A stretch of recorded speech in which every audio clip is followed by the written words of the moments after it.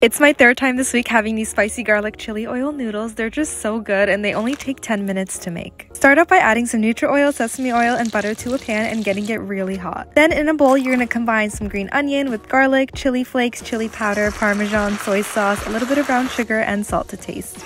Add the hot oil over that so it's sizzling, mix together, and then pour that on top of your knife cut noodles which have been boiled to perfection. Now we just toss that all together, add more of our pepper flakes and green onion, and enjoy! Enjoy!